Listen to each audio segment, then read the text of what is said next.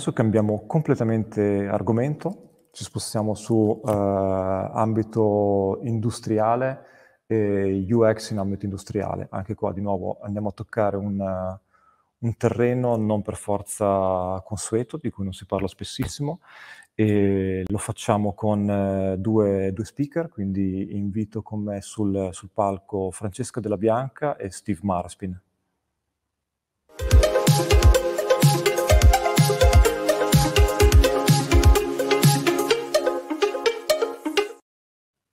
Eccoci qua. Ciao, buonasera, benvenuti entrambi. Ok, voi mi sentite? Io sento voi? Perfetto. Allora, um, un minimo di introduzione anche per voi. Uh, siete colleghi, eh, lavorate entrambi in, in MV Labs, eh, diciamo a metà strada tra progettazione dell'esperienza utente e, e, sviluppo di software in ambito enterprise industriale. Eh, tendo a sottolinearlo perché eh, ha delle peculiarità eh, estremamente specifiche Uh, avete lavorato per uh, grandi gruppi in questo ambito e avete portato l'esperienza dei progetti B2C uh, nel, nell'ambito enterprise. mi sembra che siete entrambi docenti anche di, di User Experience Interaction Design per l'Istituto Tecnico Superiore dell'Alto Adriatico e in generale il vostro background è molto forte sulla parte proprio di applicazioni in ambito industriale e enterprise che hanno tutta una serie di complessità e di, così, di specificità che ci, ci raccontate eh, stasera. Um, dal progetto al prodotto, quindi ci raccontate un'esperienza pratica, lascio a voi la, la parola. Direi di sì, abbiamo questo talk in cui introduciamo un po' questi due argomenti. Il primo è quello dell'ambito industriale, la progettazione che ha, come dicevi giustamente Nick, delle eh, peculiarità e poi facciamo qualche considerazione sulla, sulla possibilità che si ha di eh, ragionare alla creazione di un prodotto piuttosto che un singolo progetto. Quindi mh, mm, direi assolutamente ottima l'introduzione, grazie. Io lascio la parola a Francesca. Ottimo. Steve e io siamo abituati a, lavorare qui ma oggi parleremo di un ambiente un po' diverso, l'ambiente industriale. Questo è un contesto, come abbiamo accennato, dove noi in MV Labs lavoriamo molto spesso ed è un settore anche molto complesso e di conseguenza per andare a progettare in quest'ambito dobbiamo comunque andare ad analizzare molto a fondo e a capire bene quali sono le caratteristiche che eh, presentano gli utenti che lavorano in quest'ambito e come si relazionano con esso, quindi il rapporto tra utente e ambiente. Eh, la maggior parte delle persone indossa attrezzature molto ingombranti come visiere, caschetti, occhiali di protezione e anche tute e guanti che eh, in particolare quest'ultimi molte volte eh, possono limitare e rendere molto complessa quella che è l'interazione con oggetti terzi eh, nello sviluppo del, nello svolgimento delle loro mansioni. Eh, però dobbiamo anche andare a capire effettivamente com'è il contesto in cui andiamo a progettare e quali sono le problematiche che poi emergono in questo contesto. Quindi dobbiamo capire quali sono le, le caratteristiche e come queste caratteristiche possono anche eventualmente trasformarsi in problematiche per gli utenti che ci lavorano. Eh, questi ambienti di base sono ambienti molto molto rumorosi e questo rumore è spesso dato dai macchinari che sono impiegati nella produzione, quindi dobbiamo stare anche molto attenti alle scelte che noi facciamo a livello tecnologico, quindi è anche molto rischioso a, a utilizzare magari un esempio come eh, sistemi come comandi vocali sono ambienti che possono diventare anche pericolosi eh, per un via vai di mezzi come muletti, macchine in genere, quindi anche le persone che camminano e che lavorano in quest'area devono stare molto attente per non, non rischiare magari di essere anche investiti. E sono ambienti con scarsa illuminazione o comunque di base con un'illuminazione che magari può essere anche non idonea e sono ambienti anche molto odorosi. Noi stiamo, lavoriamo anche spesso con aziende che si occupano di riciclo e questo è uno dei problemi che riscontrano molto, soprattutto nei periodi estivi. E sono ambienti anche con alte temperature per via probabilmente anche delle tipologie di eh, produzione, di quello che producono. Ecco sì, a rendere ulteriormente eh, complessa e quella che è l'attività di progettazione per questi ambiti è un po' la complessità inerente no? che ci sono in questi ambiti, perché noi abbiamo a che fare con sistemi che devono gestire eh, molti dati, dati relativi a, mh, diciamo, a procedure, a flussi diversi, perché se noi consideriamo anche semplicemente, eh, una lavorazione in corso, la lavorazione in corso porta con sé il concetto di ordine di lavoro collegato a un ordine di vendita, quindi a chi sarà riferita questa produzione, lo stato dei macchinari, lo stato di manutenzione su di esse e la, la, diciamo, la disponibilità di eh, componenti a magazzino, materie prime. Quindi tanti, tanti, tanti dati che sono utili, che però è opportuno gestire con attenzione perché, come vedevamo prima, e le facoltà delle persone che lavorano sono in qualche modo limitate dal contesto stesso. E ciò che mi viene da dire, sfruttando ciò che diceva Nicolò prima, è che è il, primo, diciamo, il primo pensiero che ci viene per affrontare eh, questa complessità è quello di ricorrere un po' alla scienza che eh, si occupa di eh, studiare l'informazione, no? grande quantità di informazione, che è eh, l'informatica. L'informatica offre una serie di strumenti e metodi, modelli e per diciamo, gestire questa complessità. E ha anche delle rappresentazioni tutto sommato eh, molto utili, che però eh, rischiano di raggiungere a delle mh, forti limitazioni, secondo me, perché quello che si tende a fare con un approccio ingegneristico, informatico tradizionale è di gestire la complessità ma ribaltarla e riportarla sull'interfaccia. Allora ecco che in una situazione come quella che abbiamo visto poco fa, in cui le persone sono sottoposte a stress eh, derivante dall'ambiente ostile per una persona in cui lavorano, no? quindi molti segnali, molti eh, pericoli. Eh, è veramente difficile eh, avere un processo cognitivo che sia lucido, che permetta loro di operare eh, ragionando come potremmo invece fare se ci trovassimo tranquillamente su una scrivania. E le persone qui sono fortemente condizionate ed è per questo che eh, secondo noi è opportuno eh, fare certe, certe, attenzioni. Però diciamo, eh, l'informatica appunto ha i suoi limiti per certi punti di vista, però soprattutto negli ultimi tempi ritengo abbia fornito anche degli strumenti molto utili, anche quando andiamo a fare una progettazione incentrata sugli utenti.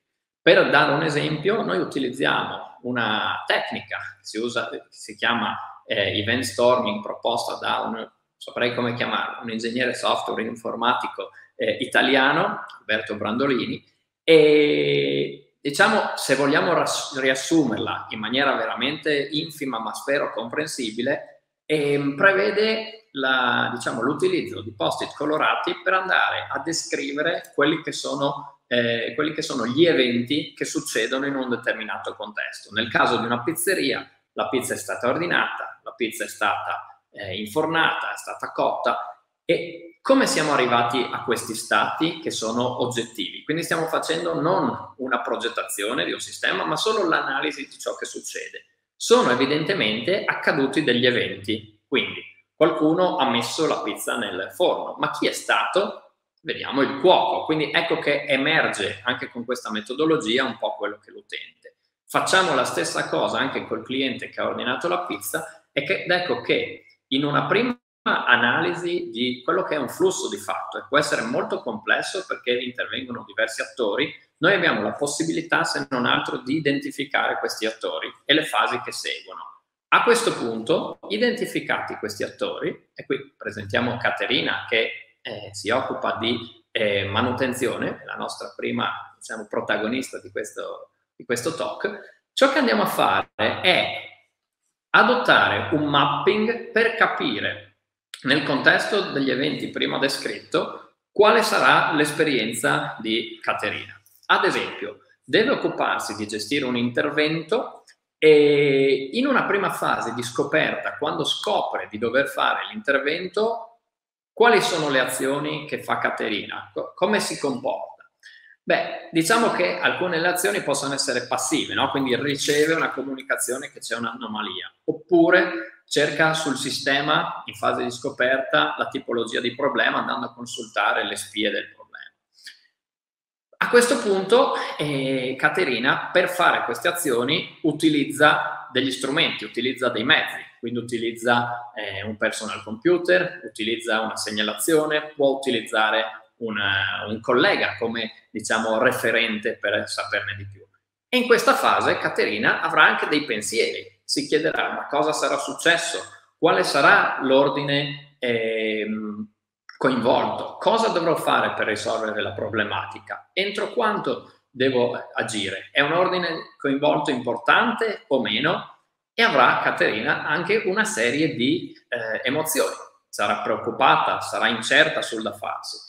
Ecco, chi si occupa di experience design, anche di service design, forse avrà trovato qualche analogia con uno strumento eh, che mi è molto caro, quello del Customer Journey, in cui si vanno a descrivere no? sulle due eh, dimensioni, orizzontale e verticale, cosa? Delle fasi e delle, diciamo, caratteristiche, delle... Mm, sì, le chiamiamo delle caratteristiche che riguardano no, la persona coinvolta nelle varie fasi.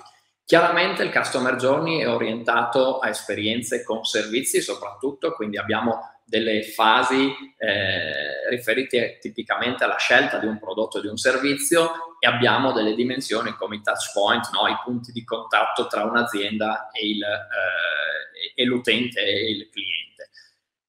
In questo caso, quello che abbiamo pensato è tuttavia che anche in ambito industriale mantenere così l'idea, la filosofia di questo strumento per il mapping, cambiando le dimensioni, potesse permetterci di scoprire cose interessanti sulle persone al lavoro. E così, dico la verità, è stato, e il modello che abbiamo rivisto è quello che prevede comunque una fase di scoperta di un'esigenza e una fase di considerazione, no? quindi eh, di, di studio, di pianificazione, di riflessione, tipicamente un'azione, un feedback per capire come è andata con l'azione e poi c'è una fase, chiamiamola di manutenzione, no? di, eh, una fase di, come dire, di eh, una fase non dinamica in cui sostanzialmente si possono mettere in atto, ad esempio, delle misure preventive per eh, evitare che succeda nuovamente un'anomalia. Ecco, ciò che mh, e si è rivelato mh, mm, particolarmente utile è stato andare nel tempo, questo strumento lo utilizziamo da 5-6 anni se non ricordo male, andare un po' a raffinare quelle che sono le, dina- le, le mh, mm, eh, dimensioni che sono, sono dimostrate più utili. Le azioni, senza dubbio, cosa fanno le persone, ma anche le locations, quindi dove si trovano, perché que- l'unione delle due può farci capire se ad esempio qual è l'impatto dei DPI utilizzati. Una persona che lavora in linea eh, avrà una situazione diversa da chi lavora in ufficio, chi lavora dal ta- con i tablet da remoto o altre situazioni. I device utilizzati, che possono essere digitali, possono essere anche cartacei, in molti casi lo sono, e poi andiamo agli aspetti un po' più personali, quindi i pensieri, a fare un'analisi no, di quello che, è, che prova dentro la persona coinvolta. Quindi quali sono i pensieri che avrà, quali sono i dubbi che si porrà la persona in questa situazione. E da lì anche le emozioni, perché da un'assenza no, di risposte a domande che ci si pone possono no, scaturire delle, delle emozioni. Ecco, l'unione di tutte eh, queste considerazioni ci ha portato ad aggiungere no, a queste mappe eh, una dimensione che è quella dei dati utili ovvero andare a sintetizzare, cercare di estrarre all'interno di un flusso quelli che possono essere per ogni fase del processo dei dati effettivamente utili da eh, mostrare, da scambiare e fornire agli utenti. Questo strumento l'abbiamo chiamato Activity Map per differenziarlo no, da una Customer Journey di cui condivide molto la filosofia e, mm, e l'abbiamo utilizzato. L'abbiamo utilizzato con Caterina prima, abbiamo visto, ma l'abbiamo utilizzato anche con Giampaolo. Giampaolo, anche egli, si occupa di manutenzione. Andiamo a vedere nel suo caso cosa succede.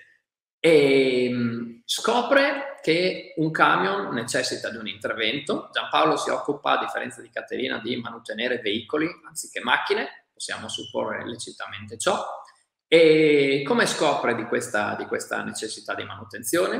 Dal computer o dal tablet, quindi ha un approccio proattivo alla ricerca di eh, ciò che deve andare a fare, e in questi momenti avrà dei pensieri, no? che targa avrà il veicolo, eh, ci sono altri interventi da fare e avrà delle emozioni che possiamo vedere in questo caso sono diverse da quelle di Caterina, perché in questo caso è proattivo. Quindi abbiamo una situazione, eh, diciamo, eh, diversa.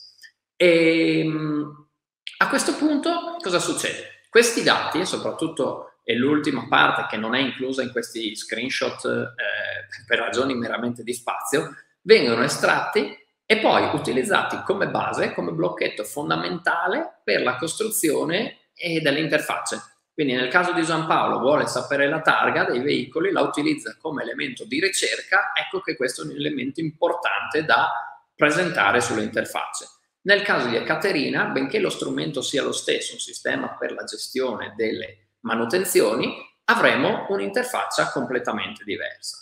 Questo per dire cosa? Che eh, gli utenti sono diversi, siamo andati un po' direttamente al punto qui a fare un mapping del loro contesto e a progettare in qualche modo anche già le interfacce, però, e qui mi collego un po' al secondo punto no, di questa sera, quindi la, la, trasformazione da progetto in prodotto, è bene mh, cercare sì di considerare le esigenze dei singoli con cui andiamo a parlare, ma se vogliamo puntare a realizzare un prodotto, anche astrarle.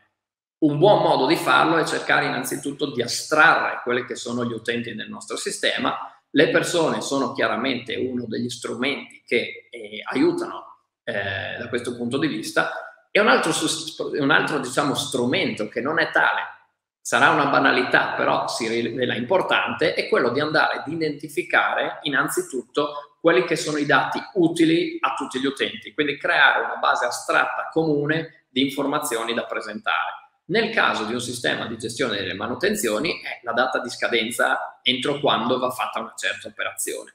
Successivamente andiamo ad occuparci magari delle, eh, dei dati che sono invece peculiari a un, a un ambito piuttosto che a un altro. Quindi dire a Giampaolo, ad esempio, saranno utili eh, sapere la posizione del veicolo, le possibili sanzioni se non viene fatto quell'intervento in tempo, mentre a Caterina sarà utile sapere gli ordini coinvolti, il tempo trascorso dall'ultimo intervento e così via. Alla fine la morale della favola è quella di produrre un'interfaccia che poi cerchi di essere più semplice possibile, ovvero minimizzando per tutti le informazioni non richieste e qui chiaramente nel nostro caso abbiamo collaborato con i colleghi sviluppatori per andare a realizzare un sistema che fosse altamente configurabile e consentisse a ciascuno di aggiungere i campi di cui aveva bisogno in una sorta di configurabilità.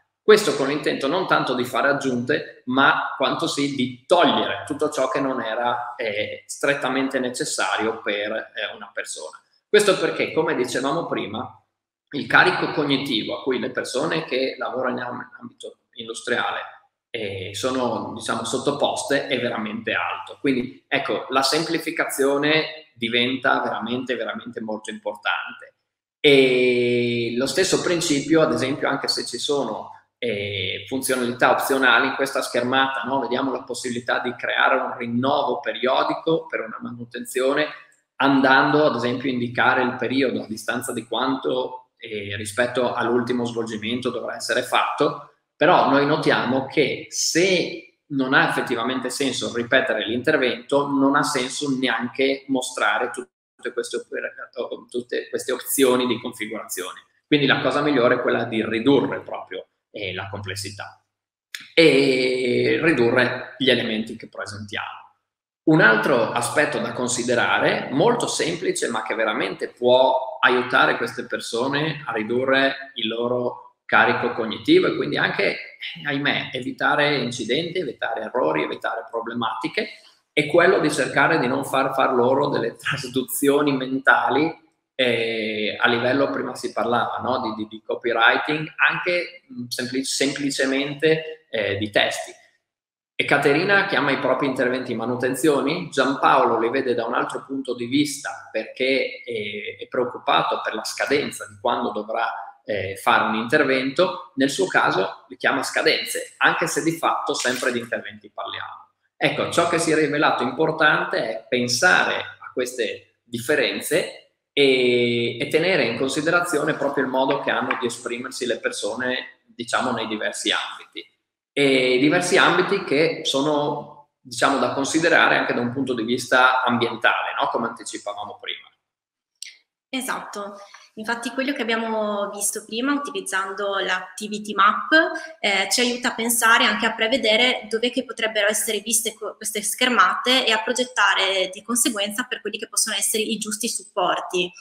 In questi contesti possiamo trovarci di fronte a differenti scenari, quindi come ad esempio eh, in questa foto una schermata operativa d'ufficio ma eh, potrebbero esserci anche delle schermate operative proprio sul campo, in impianto, quindi eh, come abbiamo visto in precedenza prevedono uno sforzo cognitivo maggiore per via di tutte le problematiche eh, anticipate prima e quindi magari i dati da visualizzare devono essere più facilmente mh, reperibili e anche ehm, contestualizzati in base al, all'utente che svolge eh, l'incarico.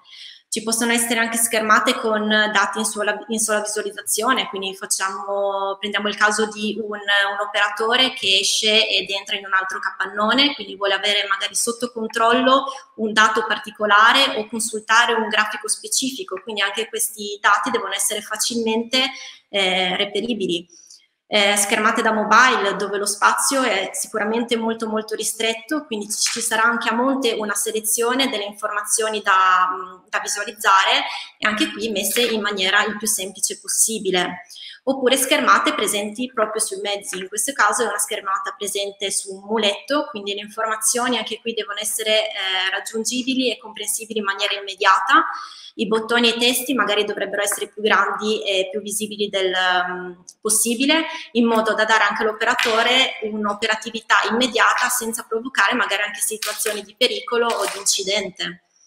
Oppure schermate che possono, essere, che possono contemplare anche diverse fasi e diversi supporti. Un esempio potrebbe essere quello dello scarico e carico di una merce, quindi un operatore arriva in impianto con un camion, si reca alla reception, la reception lo accoglie e eh, l'operatore che poi è in, campo, è in campo in impianto sul muletto deve eh, diciamo, eh, accogliere eh, il, il, camionista per ehm, caricare oppure scaricare il materiale. Quindi anche qua ci torna utile quello che eh, abbiamo visto prima con eh, la, l'event storming che ci permette di avere una panoramica generale di quello che è il flusso completo e unito all'activity map ci permette di andare a fondo in una fase specifica, quindi capire i bisogni, le domande e anche i dati di cui l'utente ha bisogno per riuscire a contestualizzarli e a farli avere nelle differenti fasi.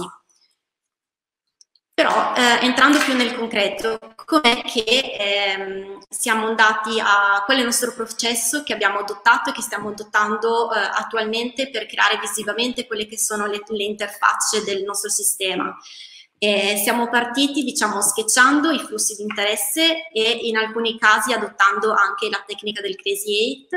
Per chi non lo sapesse, il Crazy Eight è una tecnica in cui, diciamo, dividiamo un foglio di carta in, in otto parti e in otto minuti dobbiamo cercare di sketchare otto schermate diverse. Quindi anche questo ci permette comunque di esplorare e di, diciamo, aumentare quello che potrebbero essere le, le proposte. Per le parti più complesse, eh, noi designer abbiamo, designer abbiamo, anche coinvolto i colleghi del front-end per avere diciamo, degli spunti e una visione un po' diversa e, un punto, e anche un punto di vista eh, di chi sviluppa rispetto a quello che può dare un designer. E siamo andati ad individuare quali che, quelli che sono i componenti comuni all'interno di questo flusso e, eh, da, e da quali elementi sono composti e come si comportano. Portando un esempio uh, più pratico, questo è un esempio di uno sketch di una schermata di un asset, quindi di un macchinario presente all'interno di un impianto, dove vediamo uh, delle informazioni iniziali nella parte in alto, dove abbiamo delle informazioni generali di quello che è l'asset in questione, e nella parte bassa ci sono delle informazioni provenienti da altri moduli. Quello che abbiamo fatto, abbiamo esploso le schermate, siamo andati a sketchare i dati provenienti da questi altri moduli, come potevano essere rappresentati e ci siamo accorti di aver utilizzato in tutti e tre i casi sempre delle card con elementi diversi al loro interno e siamo andati ad analizzare quali potevano essere le similitudini e le, differenze. Quindi abbiamo preso in esame questi elementi qui e siamo andati a rappresentarli in maniera più dettagliata, in modo da ottenere anche un risultato più concreto. Abbiamo analizzato questo risultato in modo da capire quali erano i dati effettivamente eh, visibili eh, in queste card, come vengono visualizzati e quali caratteristiche si portano dietro a livello di contenuti, quali potevano essere sempre presenti e quali potevano essere anche opzionali e siamo andati a definire un modello in modo da mantenere uno standard coerente in tutto il software. Quindi abbiamo definito una grandezza, abbiamo dato delle proporzioni ai vari elementi e li abbiamo anche contestualizzati e questo è stato molto utile sia a noi designer per darci delle regole di coerenza tra i vari elementi, ma soprattutto anche agli sviluppatori per avere subito chiara quella che è la composizione del, del componente e anche come al, si comportano gli elementi al suo interno a seconda delle varie casistiche. Eh, abbiamo eh, affrontato anche la parte del testing sia a livello diciamo di, di mock, quindi quando il sistema non era ancora sviluppato, sia a sistema diciamo sviluppato e la difficoltà che abbiamo eh, ritrovato noi utilizzando in questo caso Figma è che avendo delle schermate molto complesse con dei dati che ehm, delle dinamiche con dati che, si, che avevano delle dipendenze tra di loro, era molto difficile riuscire a creare dei flussi il più coerenti possibili da dare a, agli operatori che andavano ad eseguire il task sul campo. Sì, mi viene in mente da dire no? due, due aspetti, che quello è relativo al, al test di usabilità di funzionalità dinamiche, effettivamente con un tool di prototipazione è stato molto difficile, mentre eh, lo user testing sui mock si è rivelato utile per diciamo solo capire, alla, per rispondere alle classiche domande, no? secondo te cliccare qui cosa porterebbe, dove cliccheresti per arrivare a, ma riprodurre l'intero flusso eh, si è rivelato molto ostico tant'è che mh, mm, non so se eh, lo rifarei onestamente, piuttosto eh, provvederei a realizzare un software anche diciamo semplice, primordiale, ma con dei dati e un'interazione effettiva, anche perché sono da considerare due aspetti. Uno è comunque, a meno che non ci si trovi all'inizio inizi del progetto, e si hanno per fortuna anche lato software no? una serie di componenti che consentono di prototipare anche il software stesso a livello funzionale, ma il secondo è un aspetto ancora più rilevante che eh, abbiamo notato proprio in questo ambito eh, industriale, è l'attenzione posta dagli utenti, dagli operatori ai dati. Dobbiamo rendersi conto di una cosa, che e in contesti produttivi dove si lavora al metallo, dove ci sono lame che eh, diciamo, ehm, sminuzzano eh, dell'immondizia e potrebbero sminuzzare insomma non solo quella, e dove ci sono muletti e camion che vanno e vengono, quindi contesti pericolosi, eh, le persone sono molto molto concentrate su ciò che fanno e sui parametri di ogni macchina. Per dire, se un valore è fuori da quelli che sono i parametri abituali, si fa presto a generare così un, un, allarme nelle persone. Perché sto facendo questa premessa? Perché ciò di cui ci siamo accorti che a differenza dei contesti B2C a cui eravamo abituati, in cui facciamo tutto sommato il riepilogo di una schermata con dati verosimili, ma l'esempio di una prenotazione aerea, nessuno andrà a sindacare se il codice di volo per quella giornata, in quell'orario, portato avanti da quel, da quel carrier partner è esatto o se c'è una lettera lievemente eh, errata o piuttosto se il codice dell'aeroporto di destinazione non è... Insomma, nessuno andrà a fare la pulce sul dato veramente tecnico specifico. Qui no. Qui abbiamo visto che in alcune situazioni l'interfaccia insomma, riassumeva un po' quello che era stato eh, deciso e raccontato a livello così funzionale, analitico, ma nel momento in cui chiedere all'operatore cosa faresti in questo stato,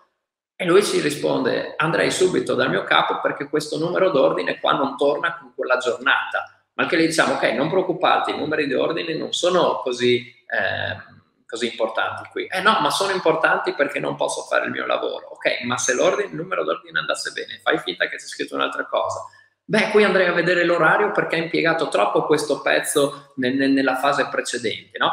Quindi c'è un, una sensibilità estrema alla correttezza del dato, ma veramente non alla verosimilità quanto alla realtà. E, e questo è stato qualcosa che, che, che, che, dico la verità, mi ha sorpreso perché non pensavo si arrivasse a questo livello. Per questo e così il, diciamo, il consiglio, se vogliamo, no? di ricorrere al software, magari utilizzando se abbiamo anche dei dati reali provenienti da produzione oppure fare in modo che siano tali, perché altrimenti rischia veramente di inefficiare e rendere inutile e frustrante anche la sessione di test utente per tutti.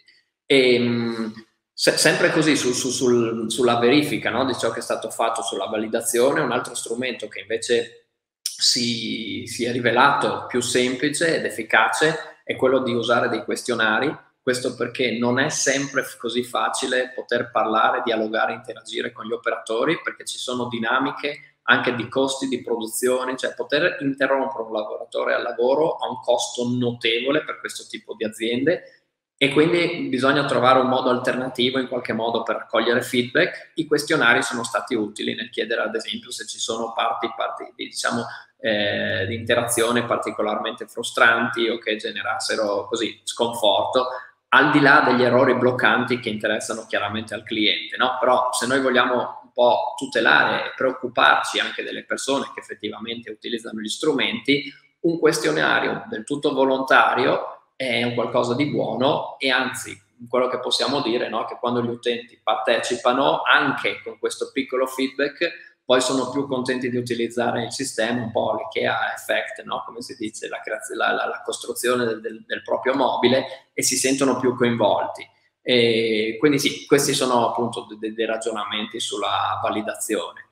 E, mh, validi per singola istanza, un po' anche per, per, diciamo, per il prodotto, a maggior ragione, no? dove gli, aumenti, gli, utenti aumentano ed è difficile, specie se sono dislocati remotamente all'estero, e poter andare a parlare con ciascuno. E ehm, poi nell'ottica di prodotto, anche Francesca, abbiamo avuto anche no, delle, delle, delle, così, qualche riflessione dal punto di vista anche più implementativo, giusto? Sì. Uh, nel nostro prodotto abbiamo cercato di gestire in una maniera uh, abbastanza semplice e minima quelle che potevano essere le personalizzazioni del brand del, del, cliente.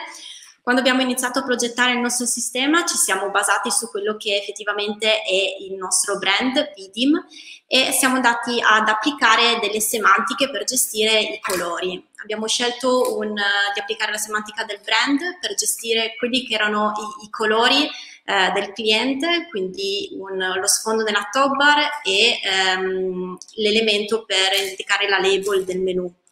Abbiamo aggiunto il, il, primary per indicare quelli che potevano essere le azioni principali all'interno della schermata e un secondary per eh, quelle eh, secondarie meno importanti.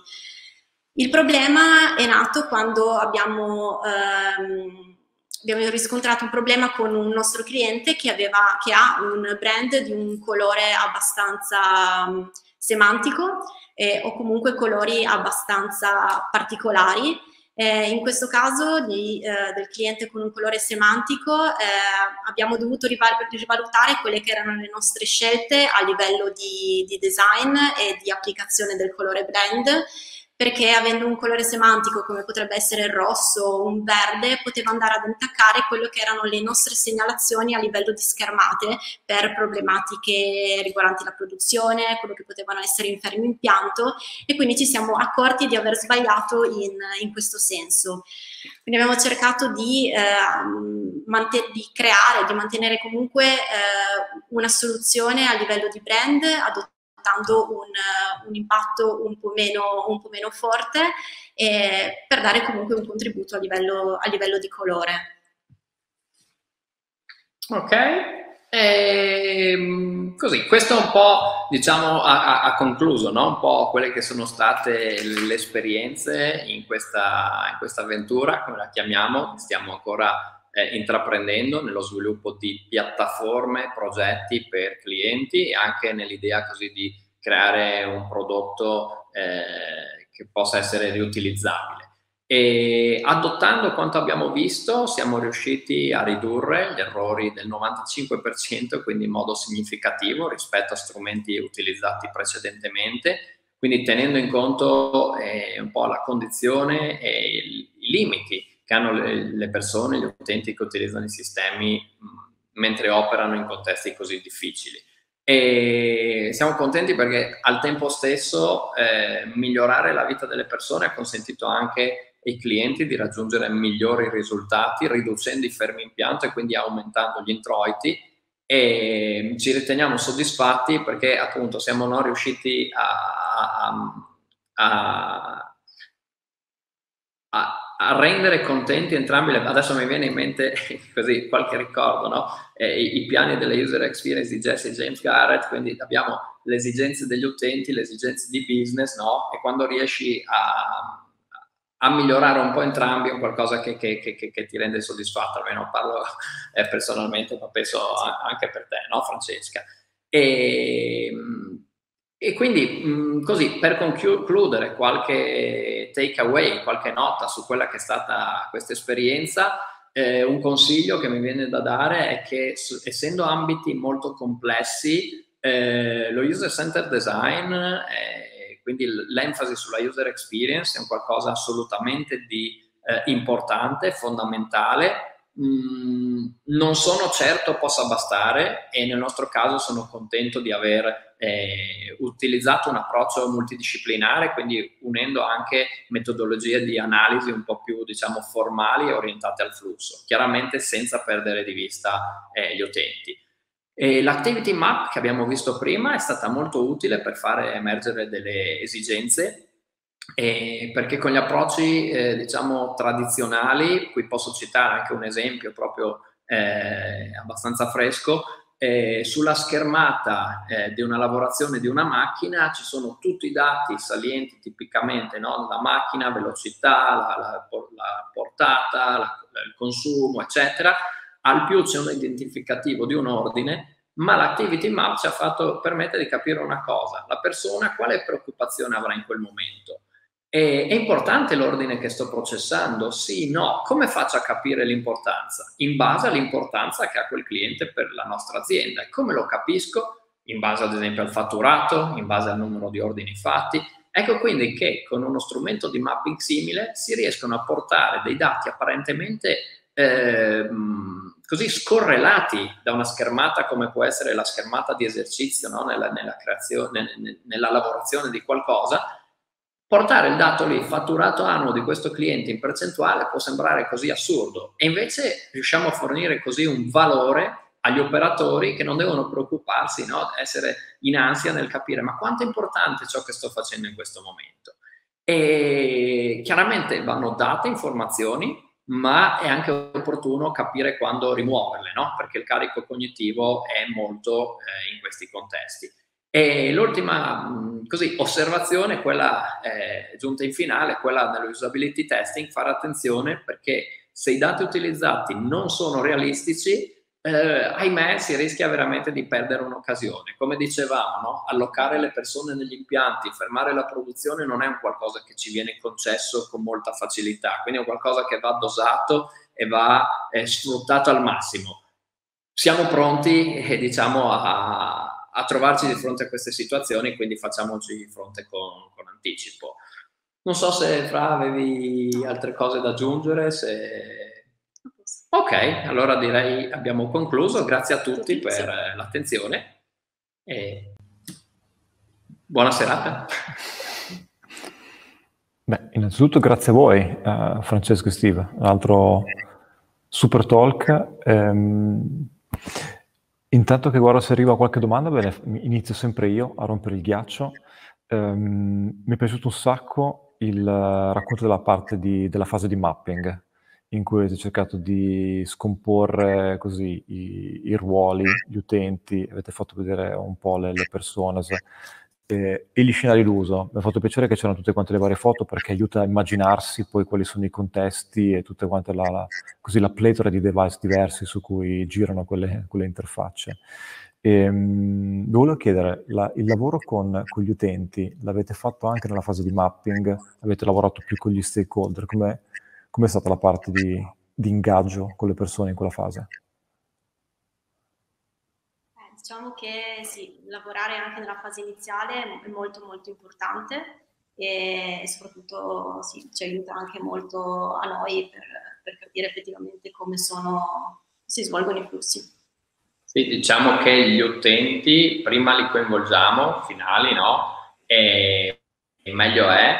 E c'è da dire che non sempre, soprattutto all'inizio con clienti nuovi, no, c'è questa disponibilità immediata nel mettere a disposizione degli operatori perché c'è questa grande no, divisione. Noi abbiamo gli analisti che si occupano, vi possono dare seguito, gli operatori lasciamoli in pace, raccogliamo noi i requisiti e quindi c'è una sorta di diffidenza. Quello che abbiamo visto in genere è che siamo partiti così eh, con un approccio freddo, tra virgolette, ma comprensibilmente, perché non sono, diciamo, eh, metodologie sempre considerate ortodosse, ma in genere poi avvicinandosi anche agli operatori, con, il tempo si iniziano a coinvolgere sempre di più ed è lì che si vede comunque un miglioramento anche nel, nel, nei risultati. Top, quindi li avete coinvolti prima e, e dopo. E, così, ultima battuta per, per, chiudere. La cosa che vi ha dato più, più, soddisfazione, più gusto di un progetto del genere, avete comunque trattato della grandissima complessità?